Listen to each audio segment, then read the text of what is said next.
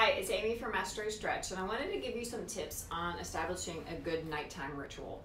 Why is this important? It helps our sleep.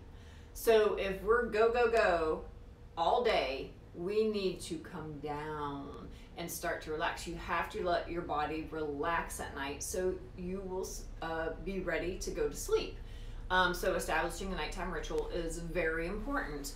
Um, personally, I like to take a bath at night. Um, and if you take a, a, a, hot or warm bath, I like hot baths.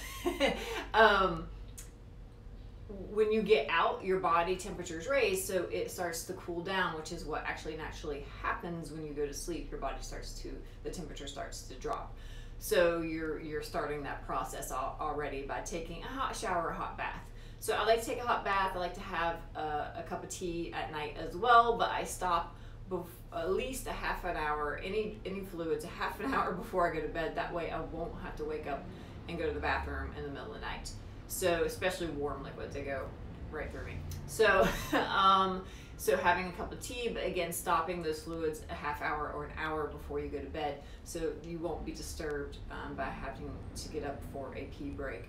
Um, reading is also very nice. It calms everything down. Now, being on your screens, uh, that light from your screens, make sure you're using the nighttime setting. Um, but any lights at all are going to signal your body to wake up. So we don't want that. So dim the lights. Don't have all the lights on at night. Dim the lights. Put on a little lamp. Do some reading. Um, I mean, you can watch TV, whatever, but just be conscious about an hour before you go to bed. You probably want to be off the screens because, again, that signals the body to stay awake. Um, so I hope those tips help. Um, let me know what your little nighttime rituals are. I love to know, and just leave in the comments below. So until next time, this is Amy from Mastro Stretch. Bye for now.